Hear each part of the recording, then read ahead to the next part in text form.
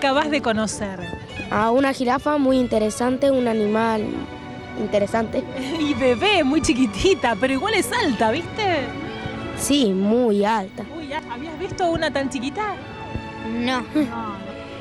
Bajo el sol y la arboleda del zoo porteño juegan juntas por primera vez.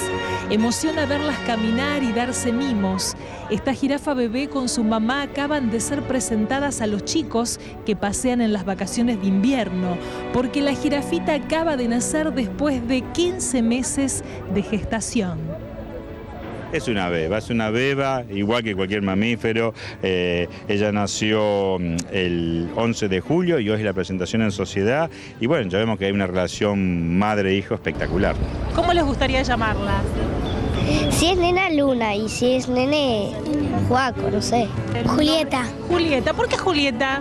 Porque tiene muy cara de Julia. Tiene cara de Julieta la jirafa. Y porque nació en julio. ¿Y saben si... Ah, porque nació en julio, en las vacaciones.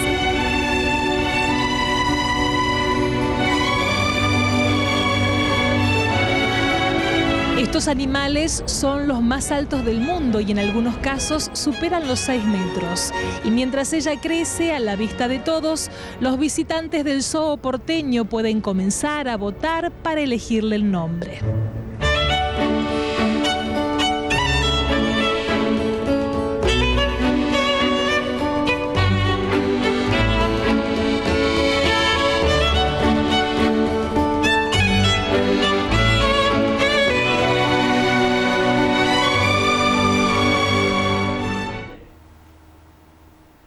Bueno, muy bien, la jirafita que todavía no tiene nombre, por eso los chicos pueden votar, dijimos que pesa 85 kilos. Cuando llegue adulta puede llegar a pesar hasta una tonelada y media, impresionante. Y recuerde esto, un dato, ¿no? Las jirafas no tienen cuerdas vocales.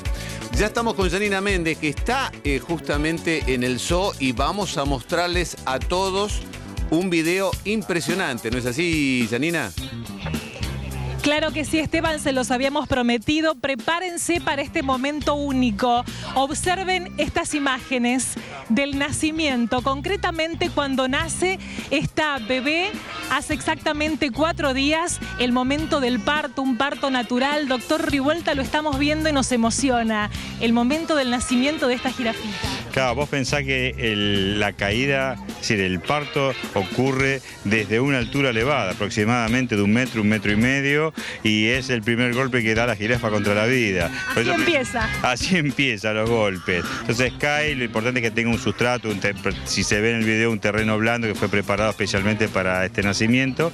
Y bueno, después de 14, 15 meses de gestación ocurre el parto y bueno, y vemos que la madre comienza a acicalarla, a romper los pedacitos de placenta que todavía vuelven al bebé y bueno, lo lame, lo lame y eso es, importante en los primeros minutos de interacción entre la madre y la cría. Y enseguida la comienza a amamantar a, la cría. No, no, porque, a ver, el, tema es que en las jirafas tardan, eh, primero tiene incorporar, servir la cabeza y después de unos minutos, a veces tarda un par de horas, pero ella tardó 30 minutos en pararse. Una vez que paró, recién comienza a coordinar sus pasos, a seguir a la madre y después de unas horas, hasta 12 horas después, comienza a mamar. Entonces, em, lo importante es los primeros minutos.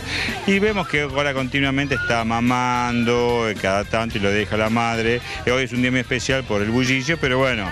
Eh, Doctor, le agradecemos Esteban, si la están mirando en imágenes, es bellísima, tiene cuatro días, es muy alta, obviamente, son los animales más altos del planeta y nos vamos con ella y con la emoción de los chicos que se han acercado para conocer a esta nueva habitante del zoológico porteño en esta primera semana de vacaciones de invierno. Fíjense lo que es esta platea. Increíble. Todos los chicos quieren conocerla. Bueno, muy bien. Ahí estaba. También recordamos, como siempre lo hacemos, que hay zoológicos virtuales muy interesantes en internet donde uno puede ingresar y ver las historias de cada uno de los animales. Son muy didácticos. ¿eh? Bueno, pero ahora vamos a hablar, nos vamos del zoológico, ahí estamos viendo la jirafita que mide un metro noventa ya y vimos su nacimiento hace instantes. Vamos a hablar del enfrentamiento entre